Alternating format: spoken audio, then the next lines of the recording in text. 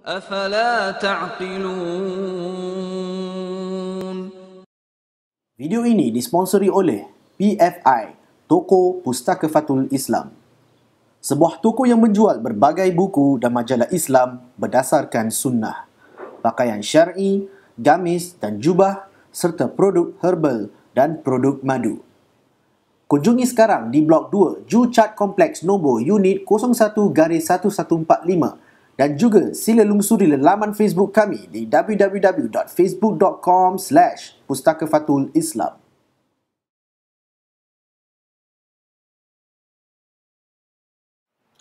بسم الله الرحمن الرحيم إن الحمد لله نحمده ونستعينه ونستغفره ونعوذ بالله من شرور أنفسنا وسيئات أعمالنا من يهده الله فلا مضل له ومن يضلل فلا هادي له.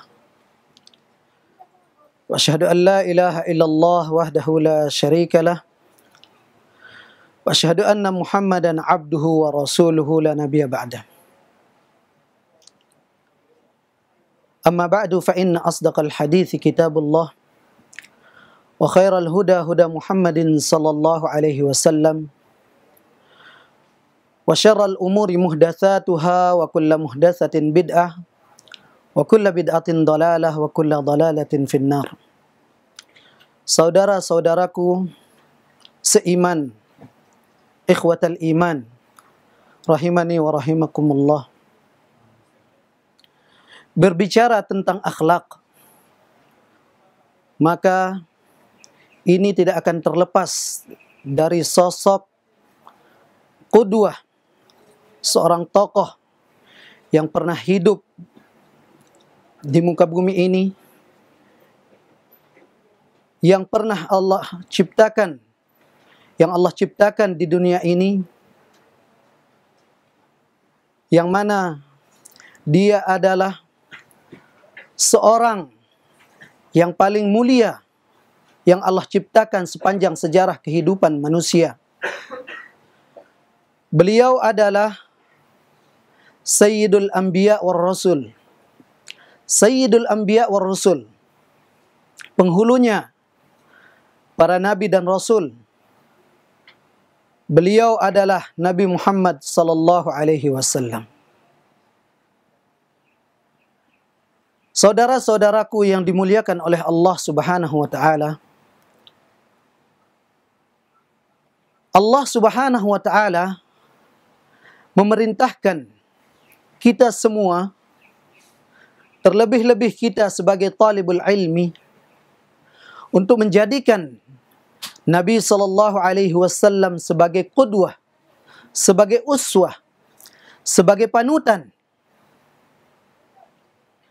Allah Subhanahu wa taala berfirman Laqad kana fi Rasulillahi uswatun hasanah Sungguh pada diri Rasulullah sallallahu alaihi wasallam ada suri tauladan yang baik. Ada kudwah yang baik. Ada uswah yang baik. Yang mana Allah Subhanahu wa taala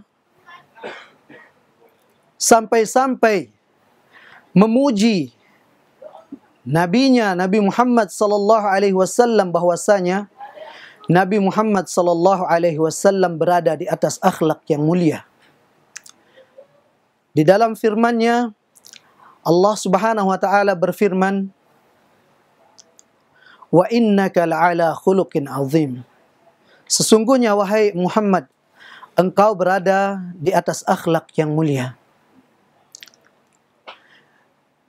ikhwatal iman, saudara-saudaraku yang dicintai dan dimuliakan oleh Allah Subhanahu wa taala.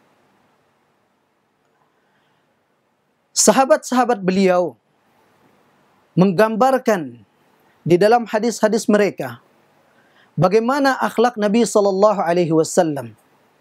Salah satu sahabat Nabi sallallahu alaihi wasallam yaitu Anas bin Malik dia berkata, kana Nabi sallallahu alaihi wasallam ahsanun nas khuluqa. Adalah Nabi sallallahu alaihi wasallam adalah orang yang terbaik akhlaknya.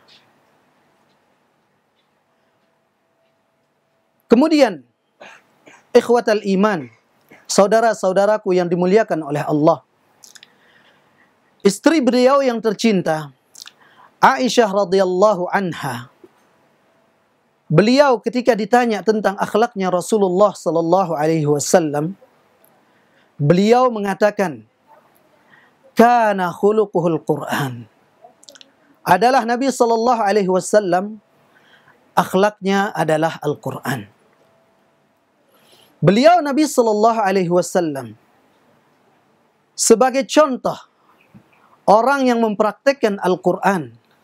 Ketika ada perintah dari Al-Quran, maka Nabi sallallahu alaihi wasallam orang yang pertama kali melaksanakan apa yang diperintahkan di dalam Al-Quran.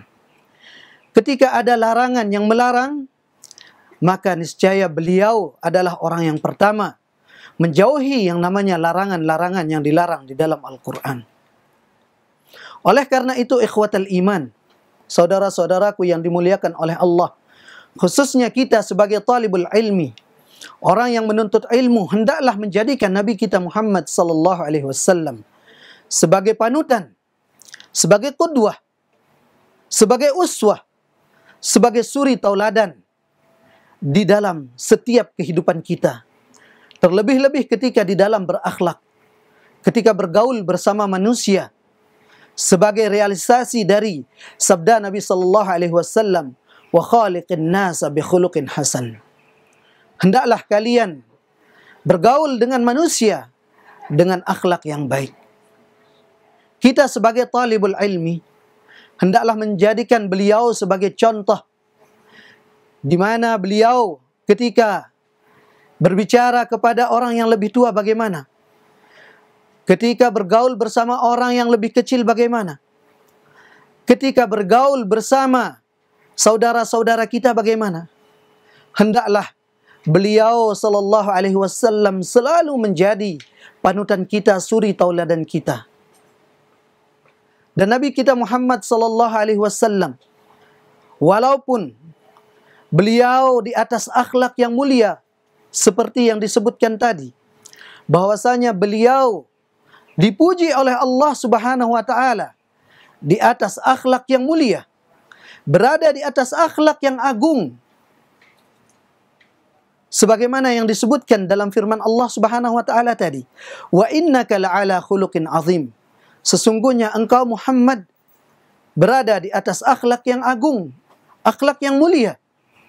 Akan tetapi nabi kita Muhammad Muhammad sallallahu alaihi wasallam senantiasa berdoa kepada Allah Subhanahu wa taala. Dia berdoa meminta kepada Allah Subhanahu wa taala agar akhlak akhlak beliau diberikan akhlak yang baik oleh Allah Subhanahu wa taala meminta kepada Allah Subhanahu wa taala. Salah satu di dalam doa beliau Nabi sallallahu alaihi wasallam berdoa Allahumma kama hassanta khalqi fahassin fahsin khuluqi. Ya Allah sebagaimana engkau menjadikan ciptaan ciptaanku ini engkau menciptakanku dalam keadaan yang bagus maka perbaikilah akhlakku. Baguskanlah akhlakku. Oleh karena itu ikhwatul iman saudara-saudaraku yang dimuliakan oleh Allah Subhanahu wa taala kita tanya pada diri kita sendiri. Kita renungkan. Kita camkan. Kita amati diri kita. Apakah kita seperti Nabi sallallahu alaihi wasallam yang senantiasa berdoa kepada Allah Subhanahu wa taala, meminta kepada Allah Subhanahu wa taala agar akhlak kita berada di atas akhlak yang mulia. Aku lu qali hadza wa astaghfirullah li فاستغفروه إنه هو الغفور الرحيم.